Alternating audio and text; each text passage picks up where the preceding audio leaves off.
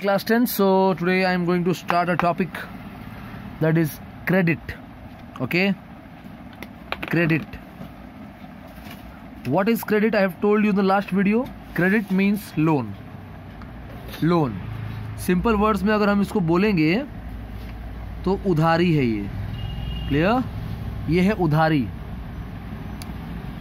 लेकिन तुम उधारी बहुत सारे चीज़ों का लेते हो क्लियर लेकिन इस चैप्टर में अगर तुम क्रेडिट का बात करोगे तो ये सिर्फ़ मनी क्रेडिट को ही दर्शाता है। क्लियर ये सिर्फ़ मनी क्रेडिट पैसे का उधारी को दर्शाता है और कुछ नहीं। Like you take credit from the shops credit of goods सामान तुम लेते हो उधारी पे। लेकिन इस चैप्टर में हम सिर्फ़ पैसे का उधारी पढ़ेंगे money credit nothing else clear so credit can be taken from two sources. Like suppose you need you need a what uh, you need a credit. Suppose तुमको दो लाख रुपए चाहिए तुम्हारे बिज़नेस के लिए। तुम्हें बिज़नेस स्टार्ट करना है। दो लाख रुपए पाँच लाख रुपए तुमको चाहिए। तुम किससे लेते हो?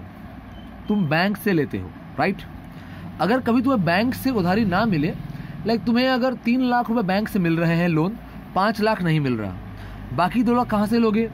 तुम शायद किसी दोस्त से लोगे, या ऐसे एक इंसान से लोगे, जो तुम्हें जिसके बहुत सारा पैसा हो और वो उधारी देता हो नॉर्मली क्लियर सो हम दो सोर्सेस से उधारी लेते हैं।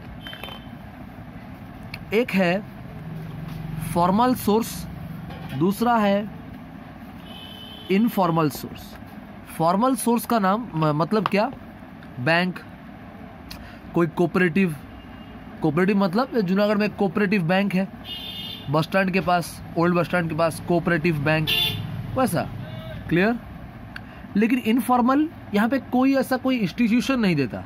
ये पर्सनली देते हैं। तुम्हारे दोस्त देंगे, तुम्हारे रिलेटिव्स देंगे, कोई मनी लेंडर है, वो देगा। Clear formal source of credit it is mainly given by banks formal means हम पढ़े हैं फॉर्मल मीन्स ऑर्गेनाइज एक इंस्टीट्यूशन जो प्रॉपर रूल्स और रेगुलेशंस में चलता होगा, ऐसा अगर इंस्टीट्यूशन तुम्हें कोई क्रेडिट देता है that is called as formal source of credit informal दोस्त, भाई बंधु कोई भी दे रहा है okay so here is the total differentiation formal credits it is given by banks and cooperatives it is undertaken by the banks and cooperative लेकिन informal by friends money lender relatives, clear? Here, if you are taking formal credit, you need proper documentation. Bank तुम्हें ऐसे ही पैसा नहीं देगा। Proper documentation चाहिए। तुम्हारा Aadhaar card, तुम्हारा voter ID तुम्हारा घर का एड्रेस मतलब जहाँ पे इलेक्ट्रिक बिल होगा, वो लेगा। हाँ और आईडी प्रूफ ले सकता है। बहुत सारा डॉक्यूमेंट्स लगता है यहाँ पे। क्लियर लाइक अगर तुम बात करोगे तो तुम क्यों, कौन सा बिज़नेस करना चाहते हो? अगर तुम बिज़नेस लोन ले रहे हो तो कौन सा बिज़नेस करना चाहते हो? कितने रुपए का बिज़नेस करना चाहते हो, उसका भी एक अंडरटेकिंग लिख के देना पड़ेगा कि मैं ये बिज़नेस करना चाहता हूँ, इतने रुपए का बिज़नेस है मेरा। मैं ये ये आइटम्स मेनली रखना चाहता हूँ। क्लियर लेकिन इनफॉर्मल दोस्त से पैसे मांगोगे, वो तुम्हारा आधार कार्ड तुम्हारा पैन कार्ड वो नहीं मांगेगा। मेरा दोस्त मुझे पैसे दे रहा है, वो कुछ नहीं मांगेगा, मुझे पैसे दे देगा। बाद में मैं उसको पैसे लौटाऊँगा। क्लियर बैंक्स जो तो फॉर्मल होता है credit source they charge low rate of interest मैं बोला था। कल का वीडियो में बताया था मैं। उनका इंटरेस्ट रेट कम होता है like ten percent twelve percent interest maximum informal मनमानी, बीस परसेंट तीस परसेंट मनमानी लेते हैं। तुम्हें अर्जेंटली पैसा चाहिए, तुम्हारे दोस्तों के पास भी नहीं है। एक मनी लेंडर है जो पैसा दे रहा है। तो वो क्या करेगा? वो मौके पे चौका मारने का सोचेगा, इसको लाख रुपए चाहिए, बहुत अर्जेंट है। थर्टी परसेंट इंटरेस्ट देना पड़ेगा, बोलेगा। मतलब तुम एक लाख दोगे और एक लाख तीस हज़ार उसको वापस करोगे। प्रॉब्लम फॉर्मल का रीपेमेंट जो है थोड़ा इजी होता है। क्लियर हाँ तो बोल रहा था कि मोड ऑफ़ रीपेमेंट काफ़ी इजी होता है। फॉर्मल में और उतना इजी नहीं होता इनफॉर्मल में। कैसे इजी होता है? प्रॉपर टाइम लिमिट होता है। हर महीने तुमको दो दो हज़ार रुपये बांधने हैं। क्लियर हर महीने। दस तारीख को तुमको दो हज़ार रुपये लेके डिपॉजिट करना है। यहाँ पे ऐसा नहीं है। जो पैसे दिया है, वो जब चाहे तब मांग सकता है। तुम्हें आज तुमने उसको दो हज़ार रुपये दिए, वो कल आके फिर से मांगेगा। और हज़ार रुपये दो। प्रॉब्लम यहाँ पे तुमको पता है, हर महीने दस तारीख पैसे बांधने हैं। तो तुम मेंटली प्रिपेयर हो जाते हो। यहाँ पे प्रिपेयर नहीं हो पाते। समझ में आया? तो मोड ऑफ़ रीपेमेंट यहाँ पे अच्छा रहता है। तुम्हें ज़्यादा प्रेशर नहीं आता, लेकिन यहाँ रहता है। क्लियर और बैंक तुम्हें सफिशेंट टाइम देता है अबाउट एक साल का टाइम या उससे ज़्यादा देता है। लेकिन यहाँ पे ऐसा नहीं होता। ये लोग बोलते हैं कि we need money within some days like एक महीने के अंदर तुम्हें सारा पैसा रीपे करना पड़ेगा. क्लियर फॉर्मल क्रेडिट में नीड ऑफ़ कोलेटरल है. व्हाट इज़ को collateral here collateral means anything that you can give to the bank okay on the basis of which the bank will give you loan जैसे कि collateral समझा रहा हूँ मैं example देगा तुमको। तुम्हारे पास तुमको लोन चाहिए दस लाख का। बैंक तुमको ऐसे ही दस लाख रुपए नहीं देगा। तुम कौन हो, कितना बड़ा बिज़नेस करते हो, वो इंपॉर्टेंट है। तुम्हारे पास एक बहुत बड़ा घर है सपोज़ सपोज़ बहुत बड़ा घर है तुम्हारे पास। तो बैंक तुम्हारे घर का कागजात रखेगा अपने पास। क्लियर मीन्स उसका जेरोक्स या ओरिजिनल डिपेंड करता है। बैंक का कंडीशंस क्या क्या है? क्लियर तो उसका जो डॉक्यूमेंट्स है घर का, वो बैंक अपने पास रखेगा। For security clear for security तब जाके तुम्हें दस लाख या बीस लाख का जो लोन है, वो देगा। क्यों लेता है कोलेट्रल बैंक्स क्योंकि बैंक को डर है। बैंक तुम्हें पर्सनली नहीं जानता। तो उसको डर है कि तुम उससे लोन लेके कहीं भाग गए तो। उसका दस लाख तो गया। तो अगर तुम्हारा कोई चीज़ कीमती चीज़ उसके पास रहता है तो तुम उसको ठग नहीं सकते। You can not cheat the bank clear तो तुम्हें भी डर रहेगा कि मैंने अगर दस लाख रुपए खा लिया बैंक का रिपे नहीं किया तो बैंक मेरे से मेरा घर छीन लेगा। समझ में आया? If you are taking the money and you are not repaying the bank on time like एक साल में अगर रिपे नहीं करते तो तुम्हारा टाइम बाइंग है तो within one and half years bank तुम्हारा घर तुमसे छीन लेगा। क्लियर लेकिन फॉर्मल में हो सकता है, नहीं भी हो सकता। फॉर्मल में अगर तुम्हारा बहुत करीबी दोस्त है तो वो तुमसे कोलेट्रल नहीं रखेगा। लेकिन अगर कोई मनी लेंडर है तो वो तुमसे कोलेट्रल रखेगा। क्योंकि मनी लेंडर है, तुमको अच्छे से नहीं जानता है। तो बोलेगा ना कि तुम्हारे घर का कोई कागज़ दे रहे हो मेरे को। क्लियर ओके बैंक का जो प्रोसीजर है क्रेडिट लेने का, वो बहुत लंबा होता है। तुम आज जाओगे डॉक्यूमेंट दोगे वेरिफिकेशन दो से तीन बार होगा। वो तुम्हारा, जो तुम कोलेट्रल दिए हो, वो तुम्हारा है कि नहीं, उसका वेरिफिकेशन करेंगे चेकिंग करने के लिए घर भी आ सकते हैं कि घर तुम्हारा है कि नहीं, ये बिज़नेस तुम्हारा है कि नहीं। तो ये जो प्रोसेस है, काफ़ी लंबा चलता है। और कुछ बहुत पंद्रह से बीस दिन बाद तुमको लोन मिलेगा या फिर एक दो महीने बाद भी मिल सकता है। लेकिन यहाँ पे इनफॉर्मल तुम्हें अभी चाहिए तो सामने वाला अभी तुमको पैसा दे देगा। बस उसे तुम पे भरोसा होना चाहिए। Clear okay time of repayment is given means fixed कब तुमको पे करना है? बता रहा था। हर महीने दस तारीख, हर महीने पाँच तारीख। टाइम और अमाउंट भी फिक्स है। अमाउंट महीने का महीना दो हज़ार, महीने का महीना पाँच हज़ार। ऐसा। आज दो, इस महीने दो हज़ार, अगले महीने बीस हज़ार। फिर एक हज़ार, ऐसा नहीं, यहाँ पे सब कुछ फिक्स रहता है। यहाँ पे कुछ फिक्स नहीं है, ना टाइम ना अमाउंट जब चाहे वो तुमसे पैसा मांग के ले सकता है। क्लियर तो यहाँ पे जितना भी तुम्हारा लोन्स दिया जा रहा है क्रेडिट्स दिया जा रहा है, वो बैंक या कोऑपरेटिव हैंडल करता है। और बैंक्स में सबसे ऊपर कौन है? आरबीआई ओके तो ये जो भी तुमको लोन देगा बैंक कोई भी बैंक तुम्हारा लोन दे तुमको, वो आरबीआई के गाइडलाइंस के थ्रू ही लोन देगा। समझ में आ रहा है? रिज़र्व बैंक ऑफ़ इंडिया का जो गाइडलाइंस है, उसके हिसाब से ही मतलब क्या क्या डॉक्यूमेंट्स होने चाहिए, उसके हिसाब से ही पूरा आरबीआई का सुपरविजन या आरबीआई के गाइडलाइंस के हिसाब से काम करेगा। क्लियर लेकिन यहाँ पे कोई गवर्नमेंट सुपरविजन नहीं है। तुम तुम्हारे मर्ज़ी से लोन दो, तुम्हारे मर्ज़ी से इंटरेस्ट लो, तुम्हारे मर्ज़ी से रिपेमेंट हासिल करो। क्लियर समझ में आ रहा है? Next benefit for the lender and borrower दोनों के लिए अच्छा है। लेंडर जो पैसा दे रहा है, उसके लिए अच्छी बात है। क्योंकि उसको थोड़ा बहुत इंटरेस्ट तो मिलेगा और प्रॉफिट इनकम होगा। ठीक। बोरोअर जिसको पैसा ज़रूरी था, उसको पैसे भी मिल गए तो वो अपना बिज़नेस या अपना कुछ भी शुरू कर सकता है राइट डन लेकिन यहाँ पे लेंडर के लिए बेनिफिट है, क्योंकि इंटरेस्ट रेट हाई है but pitiful condition for borrower एक लाख में अगर थर्टी परसेंट वो क्या करेगा? अगर थर्टी परसेंट का वो सिर्फ़ आ, क्या बोल सकते हैं इंटरेस्ट भरेगा थर्टी परसेंट का तो तो प्रॉब्लम हो जाएगा ना। जो जो लोन दिया है उसको मस्त वो थर्टी थाउज़ेंड इनकम करेगा। लेकिन जो लिया है वो वापस देने समय थर्टी थाउज़ेंड एक्स्ट्रा देगा। सोचो कितना पेनफुल सिचुएशन होगा। वो लोन ले रहा है बिज़नेस के लिए कितना रिस्क है। And again he is going to pay some more amount is very pitiful clear last point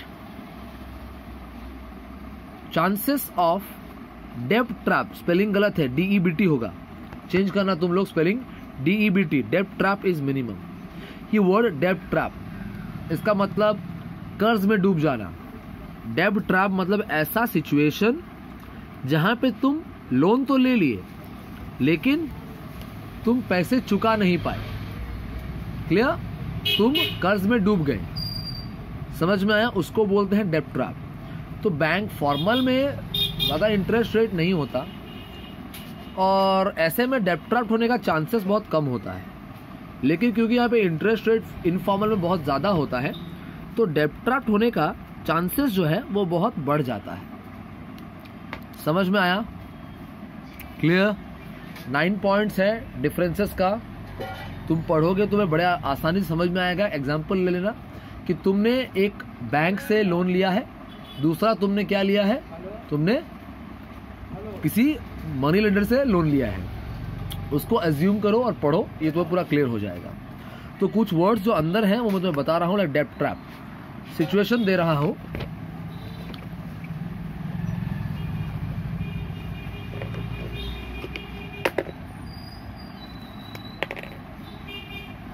तुमने सपोज़ टेन थाउज़ेंड रुपीज़ का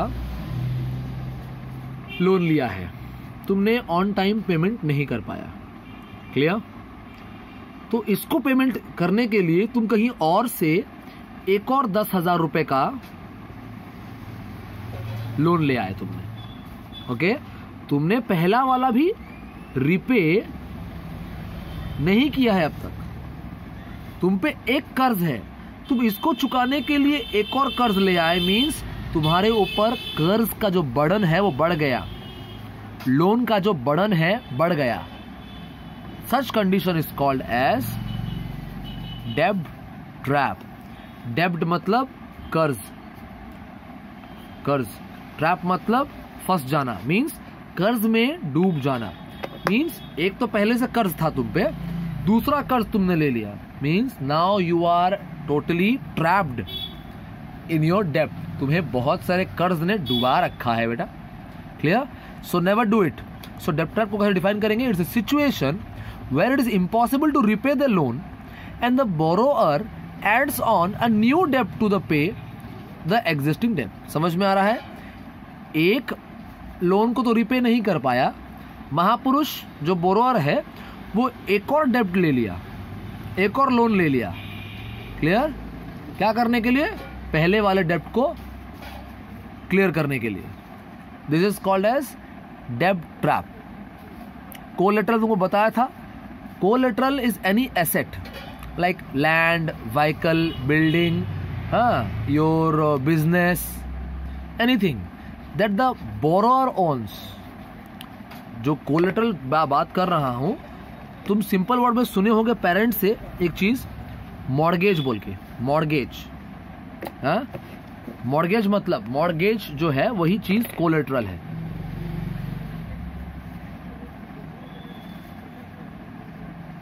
मॉडगेज या को लेटेरल इज़ इक्वल थिंग। तुम्हें इसको दिखा के क्या लेना पड़ेगा? लोन लेना पड़ेगा। मतलब इसका वैल्यू है, मींस हम इसको बोल सकते हैं this is an asset clear collateral is an asset like it can be land it can be building it can be anything ये किसका है? लैंड बिल्डिंग किसका है? जो बोरो करने वाला है उसका है। अगर मैं अगर बैंक से लोन लेना चाहता हूँ ना तो वो मेरे नाम पे ये लैंड या बिल्डिंग होना चाहिए तब जाके वो मुझे लोन देंगे। Clear so collateral is asset like land, vehicle, building, or business that the borrower owns and uses it as a guarantee to get a loan.